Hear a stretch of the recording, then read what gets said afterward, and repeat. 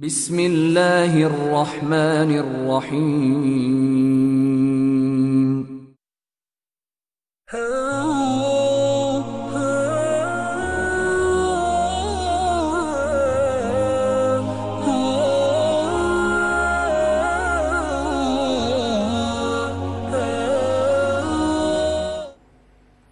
السلام عليكم ورحمة الله. الحمد لله رب العالمين ولا عاقبة للمتقين والصلاة والسلام على خير خلقه محمد وآله وأصحابه أجمعين أما بعد فأعوذ بالله من الشيطان الرجيم بسم الله الرحمن الرحيم لقد من الله على المؤمنين إذ بعث فيهم رسولا من أنفسهم يتلو عليهم آياته ويذكيهم ويزكيهم ويعلمهم الكتاب والحكمة. وقال رسول الله صلى الله عليه وسلم من تمسك بسنتي عند فساد أمتي فله أجر مئة شهيد. وقال رسول الله صلى الله عليه وسلم من صلى علي واحدة صلى الله عليه عشر مرات. اللهم صل على محمد عبدك ونبيك ورسولك النبي الأمي وعلى آله وأصحابه وبارك وسلم ইকরা বাংলার সম্মানিত দর্শক শ্রোতা দূরে এবং কাছে থেকে যারাই প্রোগ্রাম দেখছেন সকলকে আন্তরিক মুবারকবাদ জানিয়ে বিশ্বনবী সাল্লাহ ইসলামের আগমন এবং তিরুদানের এই মহান মাসে সিরাতুন্নবী সাল্লাহ ইসলাম সম্পর্কে আজকের আমাদের নিয়মিত আয়োজন নুরুল কোরআনে। সিরাতুন্নবী আলোচনায় আপনাদেরকে সাদর আমন্ত্রণ জানাচ্ছি। গুরুত্বপূর্ণ এই মাস রবিউল ওয়াল মাস। এ মাসে নবীজি সাল্লাহ ইসলাম পৃথিবীতে এসেছেন, আবার পৃথিবী থেকে বিদায় নিয়েছেন। হুজুরে পাক সাল্লাহ ইসলাম যদিও সকল নবীর পরে এসেছেন, কিন্তু মর্যাদার দিক থেকে তিনি সকল নবীর ইমাম, সর্দার, সৈয়দ। নবী মোহাম্মদুর রসুল্লাহ সাল্লাহ আলহি ওসাল্লাম ইমামুল আম্বিয়া সৈয়দুল্লিল মুরসালিন রাহমতুল্লিল আলমিন। আল্লাহ পাক হজরত আদম আলাহি সাল্লাতাম থেকে নিয়ে বিশ্ব নবী সাল্লাহ আসলাম পর্যন্ত লক্ষাধিক নবী রসুল পৃথিবীতে পাঠিয়েছেন। আজ পর্যন্ত পৃথিবীর সৃষ্টির প্রায় আট হাজার বছর বয়স হয়েছে। পৃথিবীতে মানুষ সৃষ্টির পৃথিবী অনেক আগে আল্লাহ পাক তৈরি করেছেন। মানুষের আগে আরও অনেক জাতিকে আল্লাহ পাক পৃথিবীতে পাঠিয়েছেন। কিন্তু আদম আলাই সালাতাম পৃথিবীতে আগমনের আজ পর্যন্ত, আমাদের পর্যন্ত প্রায় আট হাজার বছর অতিক্রান্ত হল। হজরত আদম আলাহি সালাতাম পৃথিবী থেকে চলে যাওয়ার তিন হাজার বছর পর হজরত ইব্রাহিম আলহি সালাতাম পৃথিবীতে আসলেন। হজরত ইব্রাহিম আলাহিসাল্লামের দুইজন স্ত্রী ছিলেন। একজন হলেন হজরতে হাজেরা আর আরেকজন হলেন হজরতে সারা। হজরতে হাজেরার গর্ব থেকে জন্মগ্রহণ করলেন হজরত ইসমাইল আলাইসালাতাম আর হজরতে সারার গর্ব থেকে জন্মগ্রহণ করলেন হজরতে ইসহাক আলাহিসাল্লাতাম ইব্রাহিম আলাহি সালাতাম আল্লাহ পাকের কাছে দোয়া করেছিলেন, রব্বানা বাবা আসফিহিম রাসুল মিনহুম ইয়াতুলু আলাইহিম আয়াতিক, ইয়াতুলু আলাইহিম আয়াতিক ওয়া ইউআল্লিমুহুমুল কিতাব ওয়াল হিকমাতা ওয়া ইউযাক্কিহিম। আল্লাহ, তুমি যে পৃথিবীতে চার গুণওয়ালা নবী পৃথিবীতে পাঠাবে, ওই চার গুণওয়ালা নবী আমার বংশধরে পাঠিয়ে দাও। আল্লাহ পাক ইব্রাহিম ইসলামের দোয়াকে কবুল করেছিলেন। যার কারণে হজরত ইব্রাহিম আল ইসলামের দুই তরফের দুই সন্তান, দুই সন্তানের মধ্য থেকে এক সন্তান হজরত ইসমাইল আলাই সালাতাম আরেক সন্তান হজরত ইসহাক আলাই সালাতাম আল্লাহ পাক হজরত ইসমাইল আলাইসালাতামের বংশধরের মধ্যে প্রায় সাড়ে তিন হাজার বছর পর ইব্রাহিম আলাইসালাতামের জীবনের পরে ইব্রাহিম ইসলামের পরে প্রায় সাড়ে তিন হাজার বছর পর আল্লাহ পাক নবী মোহাম্মদুর রসুল্লাহ সাল্লাহ ইসলামকে পৃথিবীতে পাঠালেন। অন্যদিকে ইব্রাহিম ইসলামের দ্বিতীয় সন্তান হজরত ইসহাক আলাই সাল্লাতামের বংশধরের মধ্যে এই সাড়ে তিন হাজার বছরের ভিতরে হাজার হাজার পয়গাম্বর পৃথিবীতে আসলেন। ইসহাক আলাই সাল্লাতামের আরেকটা নাম ছিল ইসরাইল যার কারণে তার বংশধরকে বলা হয় বনি ইসরাইল। এই বনি ইসরায়েলের হাজার হাজার পয়গাম্বর পৃথিবীতে এসেছিলেন। এর মধ্যে থেকে জলিলুল কদর পয়গাম্বর হজরত মুসা আলহি সালাতাম হজরত হারুন আলহি সালাতাম তারা জলিলুল কদর পয়গাম্বর ছিলেন। অর্থাৎ হজরত আদম আলহি সালাতামের পৃথিবীতে আগমনের প্রায় সাড়ে ছয় হাজার বছর পর বিশ্বনবী মোহাম্মদুর রসুল্লাহ সাল্লাহ আলহি ওসাল্লাম এই পৃথিবীতে আসলেন। নবী মোহাম্মদুর রসুল্লাহ সাল্লাহ আসলাম প্রায় সময়ই বলতেন যে আমি আমার আদি পিতা ইব্রাহিম আল ইসলামের দোয়ার ফসল। হজরত ইব্রাহিম ইসলাম যে দোয়া করেছিলেন, এই দোয়ার বদৌলতে আল্লাহ পাক আমাকে ইব্রাহিম ইসলামের বংশধরের মধ্যে পাঠিয়েছেন। নবীজি সাল্লাহ ইসলাম প্রায় সময় আরেকটি কথা বলতেন, আনা ইবনুজবি হাতাইন আমি দুই জবিহার সন্তান। অর্থাৎ ইব্রাহিম আলাই সালাতাম তার সন্তান ইসমাইল আলাই সালাতামকে আল্লাহর রাহে কুরবানি করার হুকুম প্রাপ্ত হয়েছিলেন। এবং কুরবানি করেছিলেন। আল্লাহ পাক রব্বুল আলমিন ইসমাইল ইসলামের কুরবানি, ইব্রাহিম ইসলামের কুরবানি করা এবং ইসমাইল ইসলামের কুরবানি হওয়াকে কবুল করেছিলেন জান্নাত থেকে দুম্বা পাঠানোর মাধ্যমে। আর এই ইসমাইল আলাইসাল্লামের বংশধরের মধ্য থেকে আমি পৃথিবীতে এসেছি। দ্বিতীয়ত, আমার দাদা খাজা আব্দুল মুত্তালিব, তিনি মান্যত করেছিলেন যে বরকতপূর্ণ যে কূপটি, জমজম কূপ, ঢাকা পড়ে গেছে। আল্লাহ পাক যদি এই কূপ তার মাধ্যমে উদ্ধার করেন, তাহলে তিনি তার একটা সন্তান আল্লাহর রাহে কুরবানি করবেন। খাজা আব্দুল মুত্তালিব ছিলেন আরবের লিডার। তিনি ছয়টি বিবাহ করেছিলেন, যাতে তার বেশি সন্তান আদি হয়। তিনি কাবাগর খেদমত করতে পারেন, কাবাগরের জমজমের কূপ তিনি খুদাই করতে পারেন, যার কারণে তার মান্য ছিল তার যেন বেশি সন্তান হয়। তিনি ছয়টি বিবাহ করেছিলেন। তার এই ছয় তরফে পনেরো জন ছেলে সন্তান এবং ছয়জন মেয়ে সন্তান জন্মগ্রহণ করেছিলেন। সর্বমোট একুশ জন সন্তান ছিলেন খাজা আব্দুল মুতালিবের খাজা আব্দুল মুত্তালিবের দ্বিতীয় স্ত্রীর নাম ছিল হজরত ফাতিমা বিনতে আমর। হজরত ফাতিমা বিনতে আমর, অর্থাৎ আমাদের নবীজি সাল্লাহ ইসলামের দাদা আব্দুল মুতালিব এবং দাদি হলেন ফাতিমা বিনতে আমর। ফাতিমা বিনতে আমর আব্দুল মুতালিবের দ্বিতীয় স্ত্রী। ফাতিমা বিনতে আমরের গর্ভ থেকে ছয়জন কন্যা সন্তান, অর্থাৎ খাজা আব্দুল মুত্তালিবের যতজন কন্যা, নবীজি সাল্লাহ ইসলামের যতজন ফুফু, সবাই তার দাদি। হজরতে ফাতিমা বিনতে আমরের গর্ব থেকে এসেছিলেন। ফাতিমা বিনতে আমরের গর্ব থেকে নবীজি সাল্লামের সকল দাদি জন্মগ্রহণ করেছেন এবং নবীজি সাল্লাহ ইসলামের চাচা ছিলেন ষাট জন। অর্থাৎ ফাতিমা বিনতে আমরের গর্ব থেকে চারজন পুত্র সন্তান জন্মগ্রহণ করেছিলেন।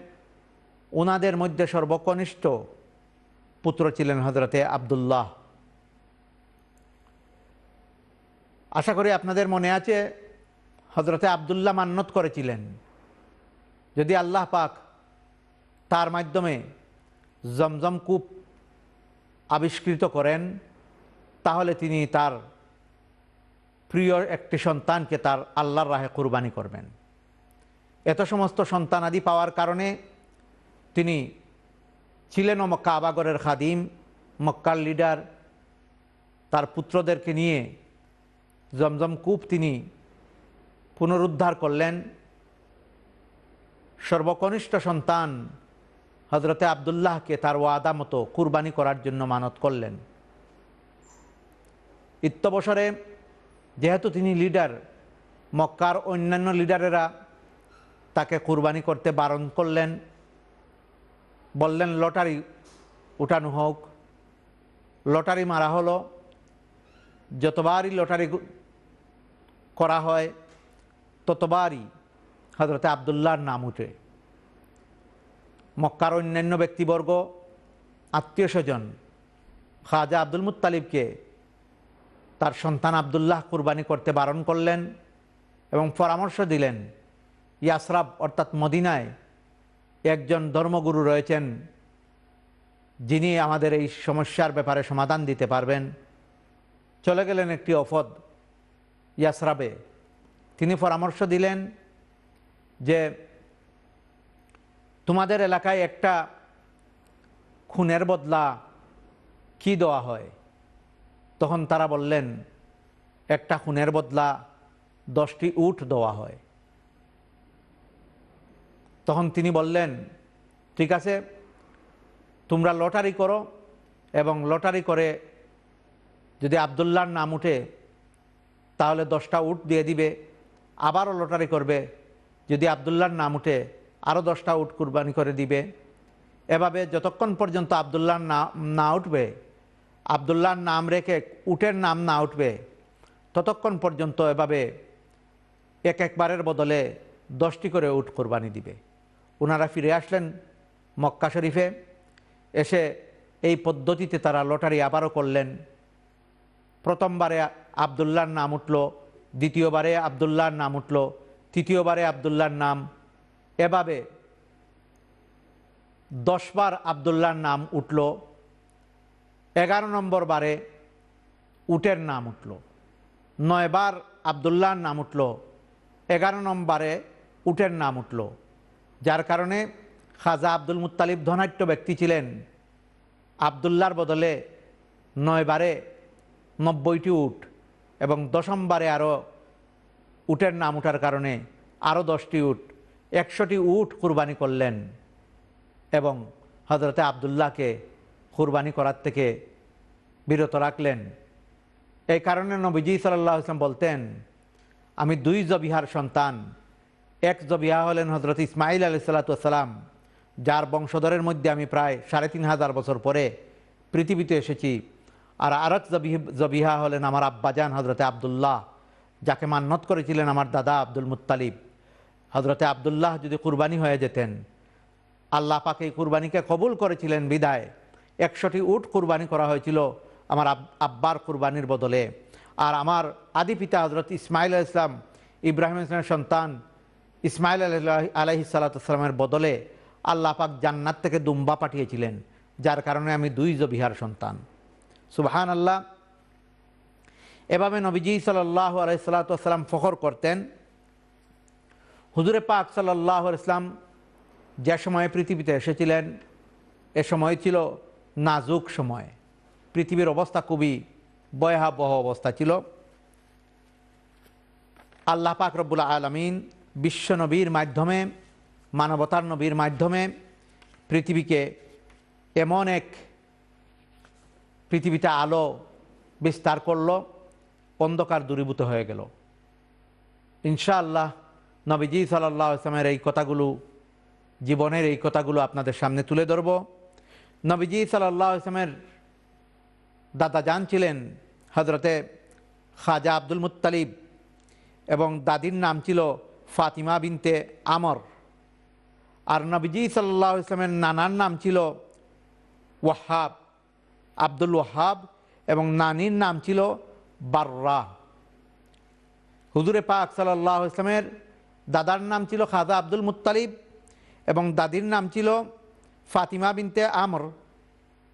দাদা এবং দাদির নাম আমরা পাইলাম। নানার নাম ছিল আব্দুল ওয়াহাব। ওয়াহাব ছিল। আব্দুল ওয়াহাব আমরা বলব। এবং নানির নাম ছিল বাররা। হুজুরে পাক সাল্লাহ ইসলামের বংশধর এবং উনার নানা বাড়ির বংশধর কয়েক চিরি পরেই একসাথে মিলে গিয়েছিল। দুনু বংশই ছিল সম্ভ্রান্ত ফ্যামিলি সম্ভ্রান্ত বংশধর ছিল। হুজুরে পাক সাল্লাহ ইসলাম কুরাইশ বংশে জন্মগ্রহণ করেছিলেন। মক্কার শ্রেষ্ঠ বংশ কুরাইশ বংশের বংশে হুজুরে পাক সাল্লাহ ইসলামের আগমন ঘটেছিল। নবীজি সাল্লাহ ইসলাম সহ সকল আম্বিয়া কেরামকে আল্লাহ পাক পৃথিবীতে পাঠিয়েছেন সেই সময়ের শ্রেষ্ঠ বংশধরের মধ্যে। সম্মানী ফ্যামিলিতে আল্লাহ পাক আম্বিয়া কেরামদেরকে পৃথিবীতে পাঠিয়েছিলেন। হুজুরে পাক সাল্লাহ আলাইসলাম যখন পৃথিবীতে আসলেন, এই সময়ের অবস্থা ছিল কুফুরির অন্ধকারে অন্ধকারচ্ছন্ন মানুষ মানবতাবোধ ভুলে গিয়েছিল, পশুত্বে রূপান্তরিত হয়েছিল মানুষের কার্যক্রম, হতাশা, গ্লানি জগদ্দল পাথরের মতো মানুষের বুকে চেপে বসেছিল। এই সময়ে মানবতার মুক্তির দিশারি বিশ্বশান্তির অগ্রদূত সৈয়দুল মুরসালিন রহমতুল্লাহ আলমিন, দুনুজাহানের সর্দার হজরত মোহাম্মদুর রসুল্লাহ সাল্লাহ ইসলামকে পৃথিবীতে আল্লাহ পাক পাঠালেন। কিন্তু দেখুন, নবীজি সাল্লাহ ইসলাম যখন পৃথিবীতে আসলেন তার আব্বা পৃথিবীতে নাই। মায়ের গর্বে যখন তিনি, তখন তার আব্বা যান পৃথিবী থেকে চলে গেলেন। আব্বা আবদুল্লাহ পৃথিবী থেকে চলে গেলেন। জন্মগ্রহণ করার পর নবীজি সাল্লাহ আলহি ওসাল্লাম তার মায়ের দুধ পান করেছিলেন চার দিন মাত্র। মায়ের দুধ চার দিন পান করলেন এবং আবু জেহেলের দাসী সোয়াইবিয়া নামীয় একজন দাসী ছিল। ওই দাসীর দুধ তিনি কয়েকদিন পান করলেন। এর মধ্যেই মক্কার প্রথা অনুযায়ী তৎকালীন সময়ে আরবের মহিলারা বাহিরের শহরের লোকদের কাছে বাচ্চাদেরকে পাঠিয়ে দিতেন। তারা সেখানে দুধ পান করতেন। এমনই একটা গ্রুপ মক্কাতে তারা আসলেন। ছোটো ছোটো বেবিদেরকে নিয়ে যাওয়ার জন্য। এর মধ্যে থেকে একজন ছিলেন হজরত হালিমাতুস সাদিয়া রাদিয়াল্লাহ তাল আনহা। তিনি একজন গরিব মহিলা ছিলেন, কিন্তু সম্ভ্রান্ত ফ্যামিলির মহিলা। তিনি দুর্বল একটি উটনির উপরে আরোহণ করে তার শহর থেকে মক্কার দিকে আসছিলেন। সবল এবং দনাট্য ফ্যামিলির মহিলারা দ্রুত বেগে তাদের উটনি চালিয়ে, উট চালিয়ে মক্কাতে এসে দনাট্য ফ্যামিলির বাচ্চাদেরকে তারা যখন নিয়ে যাচ্ছিলেন রিটার্ন, আর এদিকে গরিব ফ্যামিলির হজরতে আমিনা তার সন্তানকে দিতে পারলেন না। তিনিও রয়ে গেলেন তার এতিম বাচ্চাকে নিয়ে। আর এদিকে হালিমাতো সাদিয়া রদাল্লাহ তাল আনহা গ্রুপ থেকে পিছনে পড়ে গিয়েছিলেন। তিনি একটু দেরিতে গিয়ে মক্কাতে ঢুকলেন, যার কারণে হজরতে আবদুল্লাহ হজরতে আবদুল্লাহর এতিম পুত্র হজরতে আমিনার দুলাল, বিশ্বনবী মোহাম্মদ রসুল্লাহ সাল্লাহ ইসলামকে তিনি খুলে নিয়ে নিলেন এবং তাকে দুধ পান করানোর জন্য সন্ধিবদ্ধ হলেন এবং নিয়ে ছুটলেন তার বাড়ির উদ্দেশ্যে। সুবহান আল্লাহ হজরতে আমিনা ফরমান হজরতে হালিমাতুসা আদিয়া রদিয়াল্লাহ তালানহা তিনি ফরমান যে আমি এই এতিম মোহাম্মদ সাল্লাহ ইসলামকে যখন আমার উটের উপরে সোয়ার করালাম, আমার দুর্বল উটনি সবল হয়ে গেল, আমার দুধ হিন্দু উটনির স্তনের মধ্যে দুধ নেমে আসলো, আমি পিছনে পড়ে গিয়েছিলাম আমার কাফেলা থেকে। মোহাম্মদকে যখন আমার কাফে আমার উটনিতে বসালাম, আমার উটের মধ্যে এমন স্পিড আসলো, আমার কাফেলা তার যারা আমাকে ফেলে গিয়েছিল, তাদের ও আগে আমার উটনি চলে গেল সুবাহান আল্লাহ আমার উটনির স্তনের মধ্যে এমন দুধ আসলো প্রতিমধ্যে আমি পান করলাম, অন্যদেরকেও পান করালাম, কিন্তু আমার উটনির দুধ শেষ হতে লাগল না। ভরপুর রয়ে গেল আমার উটনির স্তনের মধ্যে দুধ। বিশ্বনবী সাল্লাহ ইসলামের বরকত শুরু হয়ে গেল। নবীজি সাল্লাহ ইসলামের ফরমান এবং হজরত হালিমাতুসা আদিয়া রদ্দাল্লাহ তালা আনহা আনহাত থেকে বর্ণিত যে হজরত হালিমাতুসা আদিয়া রদ্দাল্লাহ তালা আনহা ফরমান যে আমার যে আরেকটি সন্তান ছিলেন, যার কারণে আমার স্তনে দুধ ছিল। আর ওই সুবাদেই আমি মোহাম্মদকে নিয়ে এসেছিলাম দুধ পান করানোর জন্য। কিন্তু আমি শিশু মোহাম্মদের মধ্যে এত ইনসাফ পেয়েছি। দুই বছর তিনি আমার দুধ পান করেছেন, কিন্তু দুই বছরের ভিতরে প্রথম দিন যিনি যে স্তনের মধ্যে মুখ লাগিয়েছিলেন, ধারাবাহিকভাবে তিনি দুইটি বছর এই একই স্তনের মধ্যেই দুধ পান করেছেন। বুলক্রমে অন্য স্তনে তিনি মুখ লাগাননি। তার দুধ বাইয়ের জন্য তিনি রেখে দিয়েছেন সেই স্তনটি। শিশুকালেও তিনি ইনসাফ প্রতিষ্ঠা করেছিলেন। সুবাহান আল্লাহ শিশু মোহাম্মদুর রসুল উল্লাহ সাল্লাহ ইসলাম হজরত হালিমাতুসা আদিয়া রদিয়াল্লাহ তাল আনহার দুধ এভাবে তিনি পান করেছেন। তার দুধ বাইয়ের সাথে কখনো ইনসাফি করেন নাই। তিনি এভাবে তিনি ইনসাফ প্রতিষ্ঠা করেছেন। শিশু বয়সেই হুজুরে পাক সাল্লাহ আলাই সাল্লাম হজরত হালিমাতুসা আদিয়া রদিয়াল্লাহ তাল আনহার ঘরে এভাবে লালিত পালিত হতে থাকলেন। দুই বছর পর হজরত হালিমাতুসা আদিয়া চুক্তি অনুযায়ী মক্কাতে চলে আসলেন সন্তানকে ফেরত দেওয়ার জন্য। কিন্তু তৎকালীন সময়ে মক্কার মধ্যে একটা অসুখ চলে এসেছিল। সেই অসুখের কারণে তার এই দুধ শিশুকে তিনি রেখে যেতে চাইলেন না এবং হালিমাতুসা আদিয়ার দিল্লাহ তালাহ নিয়ে যেতে চাইলেন।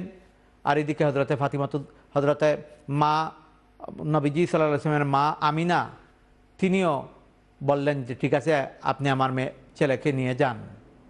নিয়ে আসলেন। এভাবে চার বছর হজরতে হালিমাতু সাদিয়া রদুল্লাহ তাল আনহার কাছে নবীজি সাল্লাহ ইসলাম লালিত পালিত হলেন। এখানে একটি কথা জেনে রাখা দরকার। তৎকালীন সময়ে কিন্তু আজকের মতো ইংরেজি সন, আরবি সন ছিল না। আমরা যেভাবে বিভিন্ন বন্যার বছর অনুযায়ী আমরা স্মরণ রাখতাম মুরব্বিয়ানে কেরামগণ বিভিন্ন বড় বড় ঘটনার পরিপ্রেক্ষিতে বছরকে স্মরণ রাখা হতো। ছোটোবেলায় আমরা দেখেছি, ঠিক তেমনইভাবে তৎকালীন সময়ে আমাল ফিল নামে একটা বছর গণনা শুরু হয়েছিল। হাতির বছর হিসাবে সেই বছরকে লোকেরা জানত। আব্রাহা নামের একজন জালিম বাদশাহ ছিল। সে তার দেশে একটি স্বর্ণের ঘর তৈরি করল এবং পৃথিবীবাসীকে দাওয়াত দিল। ওই ঘর তোয়াফ করার জন্য। যাতে করে মক্কার কাবাগর কেউ তোয়াফ না করে, কিন্তু কেউ তার ডাকে সাড়া দিল না। মাটির এই কাবাগরই তোয়াফ করার জন্য মানুষ পাগল পাড়া ছিল সবসময়, সে গড়কেই তোয়াফ করল। তাই জালিম আব্রাহা বাদশার সকল ক্রুদ গিয়ে পড়ল ওই কাবাগরের উপরে। তার ছিল বিশাল হস্তি বাহিনী। তার হস্তি বাহিনী নিয়ে কাবাগরের দিকে রোয়ানা দিল কাবাগরকে ধ্বংস করার জন্য। কিন্তু জেগর তৈরি করেছেন আল্লাহ পাক। জেগরের কথা কুরআনুল করিমে এসেছে, ইন্না উকবাল আবাইতিন উদি আল ইন্নাস লাল্লাদি বিবাক্কাতা মুবারকাং ওয়াহুদাল্লিল আলামিন সেগর কি জালিম? আব্রাহা বাদশাহ ধ্বংস করতে পারবে? কখনো নয়। আল্লাহ পাক আসমান থেকে আবাবিল পাখি, ছোট্ট ছোট্ট পাখি পাখি পাঠালেন। পাখির টুটের মধ্যে একটি চিকন পাথর, দুনু পায়ের চঙ্গলে দুটি চিকন পাথর। যে ঘটনাটি এসেছে সুরাতুল ফিলের মধ্যে, আলাম তারা কাইফা ফাল রাব্বু কাবি আসহাবিল ফিল, আলাম ইয়াজআল কাইদাহুম ফি তাদলিল ও আরসালা আলাইহিম তৈরান আবাবিল, তারমিহিম বিহিজারাতিম মিন সিজ্জিল, ফাজআলাহুম কাআসফিম মাকুল। আল্লাহ পাক বিশাল এই হস্তি বাহিনীকে আবাবিল পাখির ঠুটে এবং পায়ের মধ্যে ছোট্ট কঙ্কর পাথরের মাধ্যমে এমনভাবে বৃষ্টি বর্ষণ শুরু হয়ে গেল। আব্রাহা বাদশার উষ্টি বাহিনী, সকল ঘোড়া, তার সাথে সৈন্য সামন্ত যারা ছিল সবাই ওই ছোট্ট পাখির আক্রমণের কারণে মৃত্যুবরণ করল। কিছু যারা জীবিত ছিল, নবীজি সাল্লাহ ইসলাম ফরমান, আমি নিজে দেখেছি ওই সমস্ত পঙ্গু লোকদেরকে যাদের হাত নাই, পা নাই আব্রাহা বাদশার ওই ফোর্সের সাথে সম্পৃক্ত ছিল এবং আবাবিল পাখির আক্রমণের কারণে তারা হাত পা হারিয়ে ফেলেছিল। আমি তাদেরকে দেখেছি। যেদিন আব্রাহা বাদশার এই ঘটনা ঘটেছিল, ওই দিনের পঞ্চাশ দিন পরে বিশ্বনবী সাল্লাহ ইসলামের আগমন ঘটেছিল। আর সে সময় ছিল পাঁচশো সত্তর খ্রিস্টাব্দ। সে সময়ে পৃথিবীতে নবীজি ইসলাম এসেছিলেন এবং তার আব্বাজান পৃথিবী থেকে আসার আগেই ইন্তেকাল করেছিলেন এবং দুধমা হালিমাতু সাদিয়া রদিল্লাহ তাল আনহার কাছে চারটি বছর তিনি লালিত পালিত হয়েছেন। তার শিশুকাল এভাবেই তিনি কাটিয়েছেন। বিরতিতে যাচ্ছি। বিরতি থেকে এসে পিয়ারা নবী সাল্লাহ ইসলামের মিলাদ সম্পর্কে মৌলুদুল নবী সাল্লাহ ইসলাম কীভাবে তিনি জন্মগ্রহণ করলেন, অসম্পূর্ণ কথা বলব।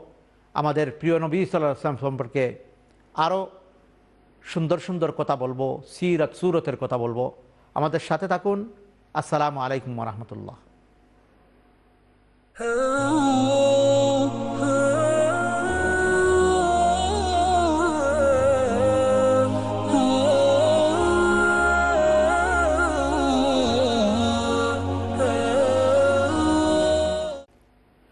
আসসালামু আলাইকুম রহমতুল্লাহ। সম্মানিত দর্শক শ্রোতা, বিরতির পর আবারও আপনাদের সামনে সিরাতুন নবী সাল্লাহ আসলামের আলোচনায় শরিক হলাম। একটি কথা আমাদের সকলের জানা দরকার।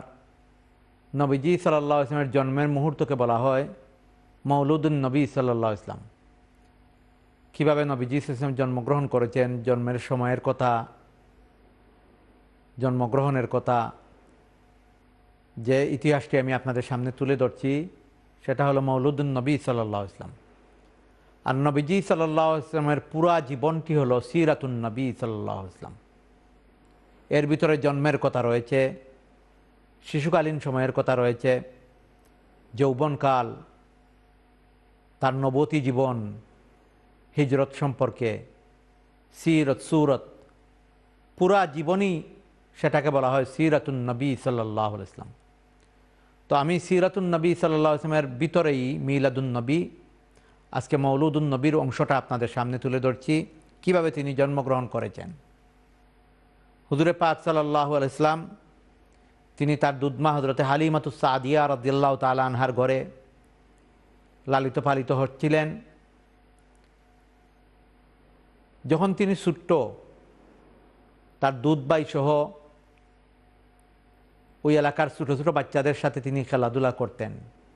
সকল শিশুরা এই খেলাধুলা করে। আর শিশুরার, শিশুদের খেলাধুলার মধ্যে আলাদা একটা সৌন্দর্য রয়েছে। এভাবে তিনি একদিন দুধবাই এবং সাথীদের সাথে খেলার মত্ত ছিলেন। ইতিমধ্যে একজন ফিরিস্তা আসলেন। ধরে নিয়ে গেলেন নবী মোহাম্মদ সাল্লাহ আসলামকে এবং পাহাড়ের নিচে শুয়ালেন।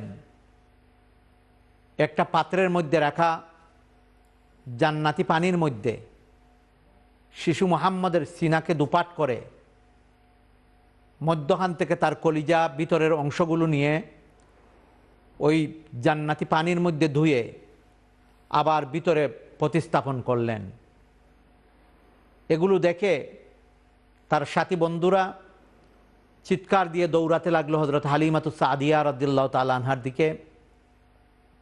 গিয়ে বললেন, এই ঘটনা হজরতে হালিমাতু সাদিয়া রদ্দিল্লাহ তালানহা কান্না করে, দৌড়ে আসলেন, আমার এত আদরের দুধ সন্তান, যাকে আমানত হিসাবে এতিম মোহাম্মদকে আমি নিয়ে এসেছি, যার বরকতে আমি এত ছাগল, উট ইত্যাদির মালিক হয়েছি, সেই আমার আদরের সন্তান, দুধ সন্তান মোহাম্মদ, তার কি হলো? পাহাড়ের পাদদেশে কে এসে তাকে হত্যার জন্য এভাবে আক্রমণ করল? দৌড়ে যখন আসলেন, কিন্তু এসে দেখলেন মোহাম্মদ দাঁড়িয়ে রয়েছেন। হাস্যোজ্জ্বল চেহারা নিয়ে দাঁড়িয়ে রয়েছেন। কিন্তু এই হাসির মধ্যে একটা মলিনতা লক্ষ্য করা যাচ্ছে। কুলে নিয়ে এলিলেন শিশু মোহাম্মদ সাল্লাহ ইসলামকে দেখলেন তার মধ্যে একটা গাম্ভীর্যতা চলে এসেছে। তিনি সুস্থই রয়েছেন, কিন্তু চেহারার মধ্যে একটা গাম্ভীর্য ভাব ফুটে উঠে, উঠেছে। এই ঘটনাটি ছিল শক্কে সদর, অর্থাৎ সিনাচাক নবীজি সাল্লাহ ইসলামের চারবার শক্কে সদর হয়েছে। তিনবার এর ঘটনা বিভিন্ন হাদিসের মধ্যে রয়েছে এবং চতুর্থবার যে শক্কে সদর হয়েছে ফথুল বাড়ির মধ্যে এই ঘটনাটি এসেছে। চতুর্থবার, দশ বছর বয়সে আরেকবার শক্কে সদর হয়েছে, সিনা চাক হয়েছে। শিশুকালীন সময়ে সন্তানেরা শিশুসুলভ কিছু আচরণ তাকে দুষ্টামি, তাকে বিশ্বনবী সাধারণ শিশু নয়, এতিম মোহাম্মদ সাধারণ শিশু নয় বিদায়। আল্লাহ পাক তার শিশুসুলভ আচরণ যেন দুয়ে মুছে সাফ হয়ে যায়। তাই আসমানি ফিরিস্তার মাধ্যমে শক্কে সদর সিনা অপারেশন করে শিশুসুলভ সে সমস্ত দুষ্টামি তার অন্তর থেকে, তার ভিতর থেকে দুয়ে মুছে সাফ করে দিয়েছিলেন এই ঘটনার মাধ্যমে। দ্বিতীয় শক্কে সদর হয়েছিল, দশ বছর বয়সে যখন তিনি যুবক হবেন, যৌবনকাল যখন শুরু হবে। যৌবনকালীন সময়ে অনেক মন পরিবর্তন হয়ে যায়, অনেক চিন্তা মন্তরে জাগ্রত হয়। এ ধরনের মানবিক দুর্বলতার চিন্তা যেন নবী মোহাম্মদুর রসুল্লাহ সাল্লাহ আলহিবাসাল্লামের অন্তরে জাগ্রত না হয় বিদায়। দশ বছর বয়সে আবার অশাক্য সদর সিনাচাক হলো। তৃতীয় সিনাচাক হলো চল্লিশ বছর বয়সে যখন গার হেরাতে বিশ্বনবী সাল্লাহ ইসলাম ধ্যানমগ্ন ছিলেন। কোরআনুল করিম যে কোরআন পাহাড়কে যাচনা করেছিলেন, পাহাড় গ্রহণ করতে চাইল না, জমিন গ্রহণ করতে চাইল না। সেই কোরআন আল্লাহ পাকের কালাম আদম সন্তান গ্রহণ করার জন্য রাজি হলেন। সেই কোরআন আল্লাহ পাক বিশ্বনবীর সৈয়দুল্লিল মুরসালিনের সিনার মধ্যে দিয়ে দেওয়ার জন্য যখন আল্লাহ পাক দিয়ে দিবেন, গারে হেরাতের হেরার মধ্যে যখন নবীজি সাল্লাহ ইসলাম ধ্যান মগ্ন ছিলেন জিব্রিল আমিন আলাইসালাম সকল ফিরিস্তাদের সর্দার, তিনি কোরআনুল করিমের প্রথম ওহি, সুরাতুল আলাকের প্রথম পাঁচটি আয়াত নিয়ে যখন অবতীর্ণ হলেন, উত্তীর্ণ হলেন এবং নবীজি সাল্লাহ ইসলামের কাছে দেওয়ার জন্য যখন বললেন, ইকরা তখন হুজুরে পাক সাল্লাহ আসলাম বললেন, মা আনা কার ইন আমি তো পড়তে জানি না। এভাবে তিনবার বলার পর জিবরিল আলাই সাল্লাতাম মোহাম্মদ সাল্লাহ আসলামকে সিনার মধ্যে নিয়ে এমন জুড়ে চাপ দিলেন, যার কারণে নবীজি সাল্লাহ ইসলামের সিনা চাক হয়ে গেল, আবারও শক্কে সদর হয়ে গেল, আবারও বুক অপারেশন হয়ে গেল এবং এই অপারেশনের মাধ্যমে বিশ্ব নবী সাল্লাহ ইসলাম ফরমান, আমি বুঝতে পেরেছি মনে হয় যেন আমার ফাজরের হাড্ডিগুলো সব ব্যঙ্গে চুরমার হয়ে গেছে। এভাবে চাপ দেওয়ার পর যখন আবারও জিবরিল আলাই সাল্লাতাম বললেন, ইকরা তখন নবীজি সাল্লাহ ইসলাম পড়া শুরু করে দিলেন। জিবরিল আলাই সাল্লাতামের সাথে, ইকরা বিসমি রব্বিকাল্লাদি খালাক, খালাকাল ইনসানা মিন আলাক, ইকরা ওয়ারাব্বুকাল আকরামুল্লাদি আল্লামা বিল কালাম। আল্লামাল ইনসানা মা আলাম ইয়ালাম। সুরাতুল আলাকের এই পাঁচটি আয়াত প্রথমে অবতীর্ণ হলো। হুজুরে পাক সাল্লাহ ইসলাম সাথে সাথে পড়া শুরু করে দিলেন। অথচ আমাদের প্রিয় নবী সাল্লাহ ইসলাম ছিলেন উম্মি। উম্মি শব্দের অর্থ হলো আক্ষরিক জ্ঞান ছিল না। উম্মি শব্দের অর্থ অজ্ঞ নয়। আক্ষরিক জ্ঞান না থাকার পিছনে অনেক কারণের মধ্যে দুটি কারণ। একটা কারণ হলো যেন দুনিয়ার মানুষ না বলতে পারে যে মোহাম্মদ শিক্ষিত মানুষ উনি কোরআনুল করিম বানিয়ে ফেলেছেন। দ্বিতীয় আরেকটি কারণ, আল্লাহ পাক রব্বুল আলমিনের পরে বাদাজ খুদা বুজুর্গ তুহি কিসা মুখতসর। আল্লাহ পাকের পরেই সর্বশ্রেষ্ঠ যিনি যে সত্তা, তিনি হলেন নবী মোহাম্মদুর রসুল্লাহ সাল্লাহ আলহিবাসাল্লাম তাই বিশ্বনবী সাল্লাহ ইসলামের যেন কেউ উস্তাদ না হন, বিশ্বনবী সাল্লাহ ইসলামের যেন কেউ শিক্ষক না হন, সরাসরি আল্লাহ পাক রব্বুল্লা আলমিন বিশ্বনবী সাল্লাহ ইসলামের শিক্ষক, তাই আল্লাহ পাক রব্বুল আলমিন বিশ্বনবী সাল্লাহ ইসলামকে এভাবে ওহির মাধ্যমে উতি তুমুলা উব্বালিন ওয়াল আখিরিন, আল্লাহ পাক রব্বুল আলমিন আউ্বাল থেকে নিয়ে আখের পর্যন্ত সব ইলিম দান করেছেন নবীজি সাল্লাহ ইসলামকে সিনার মাধ্যমে। সিনার মধ্যে, দুনিয়ার কোনো শিক্ষকের মাধ্যমে নয়। এই উম্মি নবী সাল্লাহ আলহি ওসাল্লামের সিনা চাক হয়েছিল চারবার। এভাবে শক্কে সদরের মাধ্যমে সিনা এমনভাবে ওপেন হয়ে গেল চতুর্থবারের সিনা চাকের মাধ্যমে, যখন তেইশ বছরের নবতী জীবনে জিব্রিল আলাহি সালাতাম যতবার এসেছেন কোরআন নিয়ে একবার বলেছেন, সাথে সাথে হুজুরে পাক সাল্লাহ সিনার মধ্যে তা সংরক্ষিত হয়ে গেছে। তিনি এসে সাহাবাই কেরামদেরকে বলেছেন, তিনি এসে সেটা নিজের সিনার মধ্যে রেখেছেন। পরবর্তীতে যখন সাহাবাই কেরামগণ যাকে যাকে মুসলমান হয়েছেন, তাদেরকে দিয়ে একটা টিম তৈরি করেছেন, তাদেরকে দিয়ে গাছের খালের মধ্যে লিখিত করেছেন। হুফাজুল কোরআন সাহাবাই কেরামদের একটা গ্রুপ তৈরি করেছেন। পশুর চামড়ার মধ্যে লিখে রেখেছেন তারা, এভাবে কোরআনুল করিম সংরক্ষিত হয়েছে। যা যে কথাটি বলতে চাইলাম, সেটা হলো হুজুরে পাক সাল্লাহ শক্ক চদর, সদর হয়েছে সিনাচাক হয়েছে চারবার, সর্বশেষ হয়েছে চল্লিশ বছর বয়সে ওয়াহি অবতীর্ণ হওয়ার আগ মুহূর্তে। সম্মানিত দর্শক শ্রোতা, আমি ইনশাআল্লাহ রবিউল আউ্য়াল মাসে পবিত্র এই মাসে হুজুরে পাক সাল্লাহ আসলামের জীবনের বিভিন্ন দিক, অর্থাৎ সিরাতুন নবী,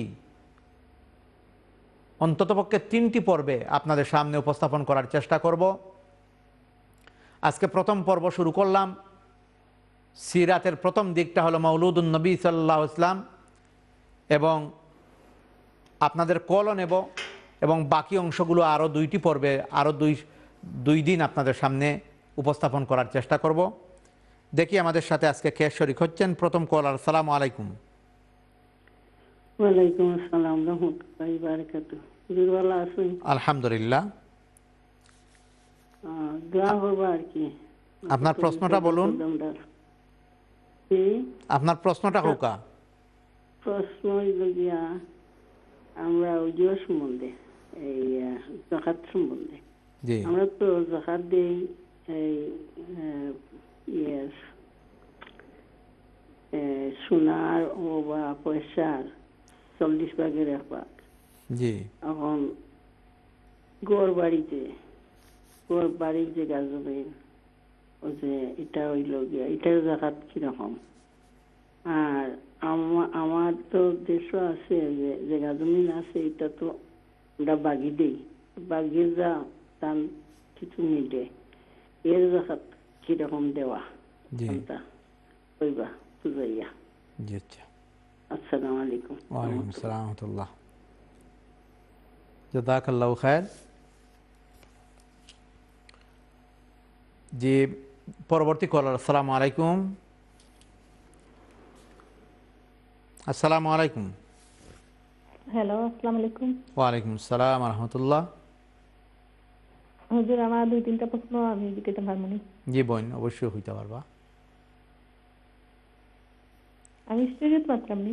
জি আপনি স্টুডিওত মাত্রা প্রশ্নটা হোকা হুজুর আমি প্রথম প্রশ্ন হইল ও আমরা যেন ফুলি দাঁত লাগাই নানি তো দাঁত তো নানি খোলাও যায় লাগাইলেও যায়। আর সেও যদি চাই না খাবারে বুয়াই দিতে আগে একবার পিঠরি লইতা দে এইটা ঠিক আছে নি বুয়ানি সেও কখন পারে না মরলে এটা দাঁত লইয়া। যদি ওই অবস্থায় মরণতে এটা পারে না। তো হঠাৎ আমারে কইবা দুই নম্বর হইল হুজুর মনে হোক আমার হুজুরের নামাজ ফজ হয়ে গেছে। তো এখন আমি জোর পড়ার পরে যদি পড়িতে দুই হাত পড়তাম না চাইরে হাত পড়তাম ফজরের ফজা আঁকি আর তিন নম্বরটা হইল মাগরিবর টাইমে যেন বাচ্চান মসজিদও যাইন। তো ওই সময় মনে হলো কা- কোনো ধরনের কালার আলা রেড কালার খুট উঠুন দেয় মাগরিবর টাইমে বার হইলে এটা ঠিক আছে নি। না কিছু অসুবিধা বালা নাইনি কারণ ও কড়া কালার কাপড় পিন্ধে আবার হইলে লাল কালার ওলা। কথাটা হইবা। জাজাকাল্লাহ খায়ের। ওয়ালাইকুম আসসালাম রহমতুল্লাহ। পরবর্তী কলার আসসালামু আলাইকুম। সালাম আপনারা ভালো আছেন নি? আলহামদুলিল্লাহ। জ্বর ও নবীজির উপায় জ্বর জন্ম তারিখ কোন দিন আবার আল্লাহ আমিন করতাম। আর দোয়া করবা নবীজির ও জ্বর তারিখ কোন দিন? আর জ্বর আমার নামটা তারিখ কেন বা কিবারে আর আপনি দোয়া করবা আমি বেমার থাকি। আসসালামু আলাইকুম। ওয়ালাইকুম আসসালাম রহমতুল্লাহ। জাজাকাল্লাহ আমাদের কাছে বেশ কয়েকটি প্রশ্ন জমা হয়েছে আরও আরও অসংখ্য কলারও রয়েছেন। উত্তরের দিকে যাচ্ছি। প্রথম কলার জাকাত সম্পর্কে বলেছেন। জাকাত হলো শতকরা আড়াই পার্সেন্ট, অর্থাৎ চল্লিশ ভাগের এক ভাগ। আর সোনা, টাকা পয়সা ইত্যাদির জাকাত দিতে হবে চল্লিশ ভাগের এক ভাগ। ঘর বাড়ির জাকাত কীভাবে দিতে হবে জানতে চেয়েছেন। ঘর বাড়ি যদি থাকার জন্য হয় তাহলে এগুলোর কোনো জাকাতের, জাকাত দেওয়া লাগবে না। যত টাকারই হোক না কেন আপনার, যে ঘরে আপনি থাকতেছেন, এ ঘরের কোনো জাকাত নাই। আরও আপনার দুই তিনটা ঘর রয়েছে, সে ঘরে আপনার রেন্টই যে ইনকাম আসে, পুরা বছরে আপনার ইনকাম আসলো বিশ হাজার পাউন্ড ওই বিশ হাজার পাউন্ডের জাকাত আসবে। পুরা বছরে আপনার খরচ পরে দশ হাজার পাউন্ড জমা হলো জাকাত জমা হলো ওই দশ হাজার পাউন্ডের জাকাত আসবে। যে টাকাটা ইনকাম হয়, সেই ইনকামের উপর জাকাত আসবে। ঘরের মূল্যের উপরে জাকাত আসবে না। কিন্তু যে সমস্ত ঘর আপনি ব্যবসার জন্য নিয়েছেন, একটা ঘর খরিদ করলেন, ওই ঘরটা আপনি লাভে বিক্রি করার জন্য খরিদ করেছেন। ঘরটা খরিদ কর- করেছেন আপনি একশো হাজার পাউন্ড দিয়ে। দশ পনেরো হাজার পাউন্ড দিয়ে আপনি গার্ডেন ঠিক করবেন, রং টং ঠিক লাগাইয়া। এরপরে আপনি ঘরটা দেড়শো হাজার পাউন্ড দিয়ে বিক্রি করার উদ্দেশ্যে খরিদ করেছেন। যেহেতু এই গড়টা আপনার ব্যবসায়ী প্রপার্টি সেহেতু ওই গড়ের মূল্যের উপরে আপনার জাকাত আসবে। অর্থাৎ একশো হাজার পাউন্ডের উপরে আপনি জাকাত দিবেন। আশা করি বুঝতে পেরেছেন? এবং আপনার প্রশ্নের আরেকটা পার্ট ছিল দেশে জায়গা জমির জাকাত। একইভাবে দেশে যদি আপনার ঘর বাড়ি বাসা বাড়ি থাকে, সেগুলো যদি আপনার রেন্টই দেওয়া থাকে, তাহলে ওই রেন্টির উপরে জাকাত আসবে রেন্টের উপরে।